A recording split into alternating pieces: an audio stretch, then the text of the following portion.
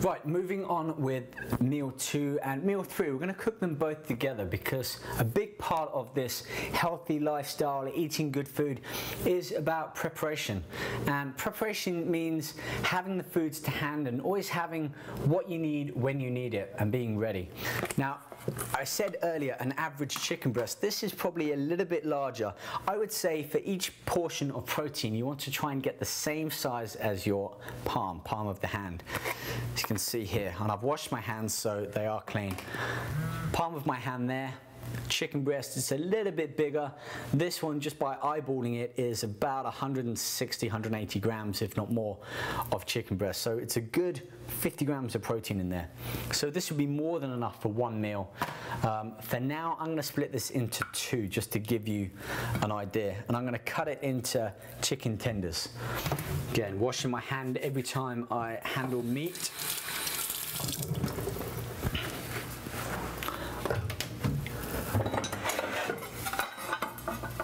Again, an organized kitchen saves a lot of time, especially if you're cooking a lot of foods at once, so that when you do wash up, I make sure I put everything back clean and where I know it's gonna be. And when I prepare my meals the night before or in the morning, everything's to hand, and it doesn't take very long. Okay, another worthwhile investment is some knives, some cutlery, some cooking equipment, pots and pans. They're gonna be around for a long time and you're gonna be using them a lot more than you think. So get some good quality sharp knives, make sure you get some good cookware and make sure you have enough. Buying cheap stuff can burn the food, you're gonna break it, you're gonna have to buy new stuff. It's like with a car. If you have that Ferrari, you're not gonna buy cheap parts to put or replace on it. You're gonna put premium parts on. It's your body. How good do you want your body to be? Ask yourself that. So we're going to cut the chicken breast into some chicken tenders. Again, increasing the surface area means it cooks faster too. By putting a big chicken breast onto a pan or into the oven, it's going to take a long time to cook all the way through. And we haven't got time to wait, especially wait for our food to cook.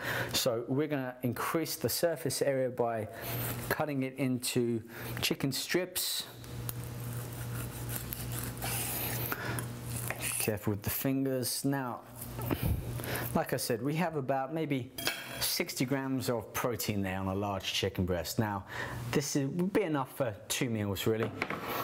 Now, how rigid are our protein, carbs and fats each and every meal? It's there as a rule of thumb. If you have a little bit more protein in the morning, less so in your second meal, but a little bit more in your third and fourth, and again, less in your fifth and sixth, that's okay. Just bear in mind that you want to try and get the same amount of protein each and every day. And if you can, the same meal. It just keeps it more consistent and keeps a more regular flow of uh, energy and calories going into your body. Now we could just have that plain. There's nothing wrong with that. I'm going to wash my hands again because I've touched meat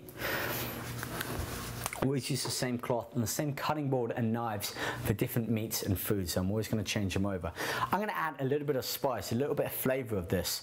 People ask me, how do I, how do I eat clean, nutritious, healthy foods all of the time? I make different combinations. I add different herbs and spices to the same meats that I might have in the same day because I can cook them at the same time, but they taste completely different.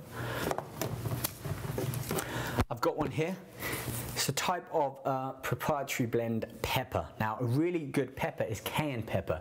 Again, it's a thermogenic like cinnamon. It's going to increase your metabolism and rev your body's fat burning capability of burning calories at a higher level, even at rest. So these are superfoods. By eating these foods with certain spices, red pepper, cayenne pepper, cinnamon, it's going to boost your body's ability to burn more calories. How good is that? Burn calories whilst you're eating the food. One thing to consider here is sodium. Now, sodium is basically table salt and we don't want to have much sodium in our diet. A limit is perhaps two to three grams at most throughout the day. That certainly doesn't mean adding any in. But sodium will cause you to hold water, so you get bloated, and it's also going to disrupt your sodium and potassium ratio. Now, we don't need to go into that, but there's certain nutrients and chemicals in the body, micro and macronutrients. Micronutrients are the, the minerals and vitamins that we need to maintain at a certain level. Uh, and by disrupting those by having too much sodium in our diets, we're going to offset that balance and create problems elsewhere. Again, this smells amazing. Dark pepper, mix of proprietary blend peppers in there, um, ready to cook. How are we going to cook it?